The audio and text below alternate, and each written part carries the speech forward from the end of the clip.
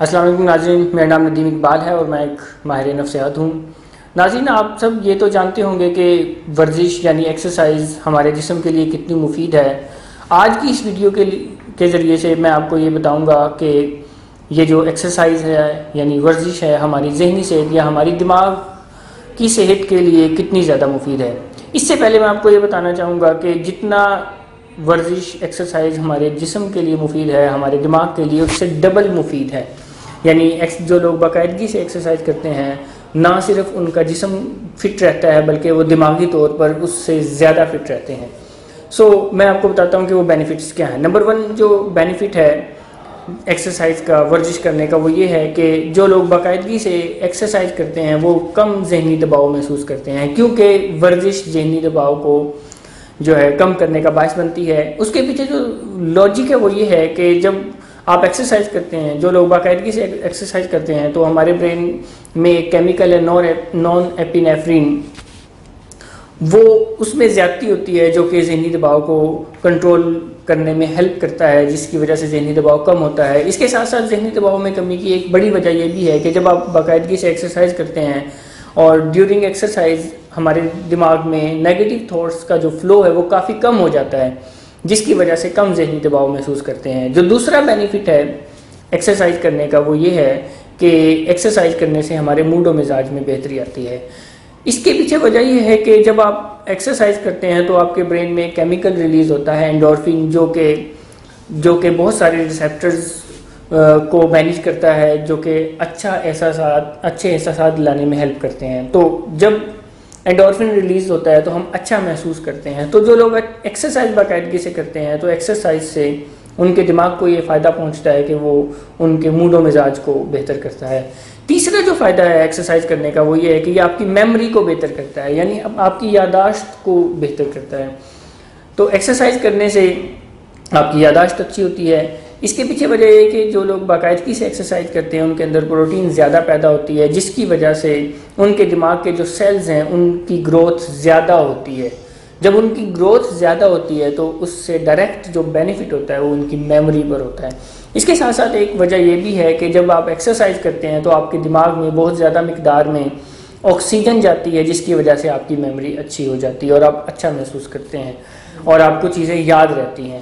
چوتھا جو بینیفٹ ہے ایکسرسائز کرنے کا، وہ یہ ہے کہ ایکسرسائز آپ کی انگزائٹی میں کمی کا باعث بنتی ہے۔ جیسے کہ ابھی تھوڑی دیر پہلے میں نے آپ کو بتایا کہ جو لوگ باقاعدگی سے ایکسرسائز کرتے ہیں، ان کے اندر نیگیٹو تھاٹس کا جو فلو ہے، وہ کافی کم ہو جاتا ہے، جس کی وجہ سے وہ کم انکشیس محسوس کرتے ہیں۔ اس کے ساتھ ساتھ جو لوگ ایکٹیو ہوتے ہیں، کیونکہ ایکسرسائز کرنے سے آپ ایکٹیو ہوتے ہیں، آپ فٹ ہوتے ہیں، اور ایکٹیو جو لوگ ہوتے ہیں، وہ زیادہ خوش رہتے ہیں۔ اور جو خوش رہتے ہیں، ان کو انگزائٹی نہیں ہوتی۔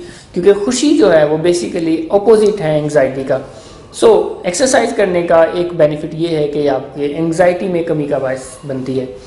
اس کے علاوہ ایک بینیفٹ یہ بھی ہے کہ جو لوگ باقاعدگی سے ایکسرسائز کرتے ہیں اگر وہ کسی بھی طرح کی نشے کی بیماری کا شکار ہو جاتے ہیں تو ایکسرسائز ان کو نشے کی بیماری سے نکلنے میں ہیلپ کرتی ہے۔ چاہے وہ سگریٹ نوشی ہو شراب نوشی ہو گیمبلنگ ہو موبائل ایڈکشن ہو انٹرنیٹ ایڈکشن ہو اگر کسی بھی طرح کی ایڈکشن کا آپ شکار ہیں اور آپ باقاعدگی سے ایکسرسائز کرنا شروع کر دیتے ہیں، تو اس سے آپ کو اس ایڈکشن سے نکلنے میں ہیلپ ملتی ہے، جو کہ بہت بڑا ایک مینٹل ہیلتھ بینیفٹ ہے۔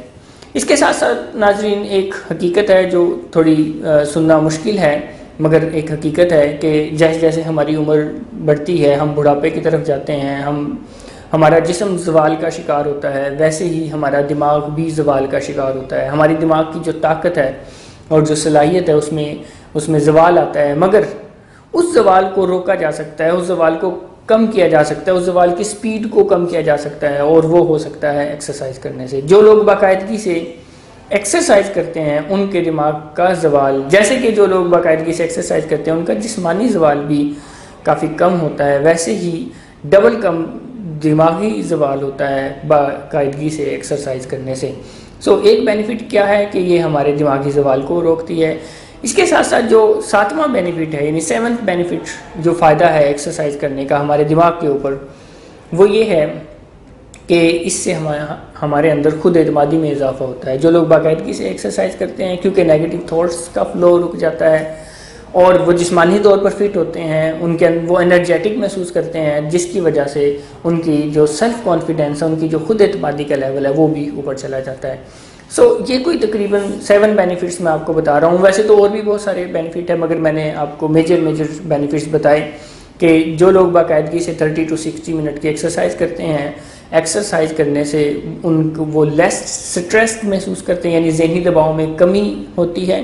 ایکسرسائز کرنے سے موڈ و مزاج میں بہتری آتی ہے ایکسرسائز کرنے سے میموری یعنی یاداشت اچھی ہوتی ہے ایکسرسائز کرنے سے انگزائٹی میں کمی ہوتی ہے ایکسرسائز کرنے سے آپ کو کسی بھی طرح کے نشے کی بیماری سے نکلنے میں ہیلپ ملتی ہے۔ ایکسرسائز کرنے سے دماغ کی جو طاقت ہے اور صلاحیت ہے، اس میں اضافہ ہوتا ہے اور خود اعتمادی میں اضافہ ہوتا ہے۔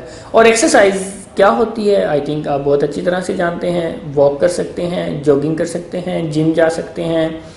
اور بہت ساری کوئی ویٹ اٹھا سکتے ہیں میڈیٹیشن کر سکتے ہیں، بہت ساری ایکسرسائزز ہیں بٹ ایکسرسائز کرنا بہت ضروری ہے۔ کسی دن ہم اس پہ بات کر سکتے ہیں کہ ایکسرسائز کے کون کون سے طریقے ہیں بٹ آج کی ویڈیو جو ہماری ہے وہی وہ یہ ہے کہ ایکسرسائز کے ہمارے ذہن پر کیا بینیفٹ ہوتے ہیں۔ مجھے امید ہے کہ اس ویڈیو کو دیکھنے کے بعد آپ لازمی کچھ ایکسرسائز کرنا شروع کریں گے اور ضرور آپ اس ویڈیو سے فائدہ اٹھائیں گے۔ تھینک یو ویری مچ اللہ حافظ۔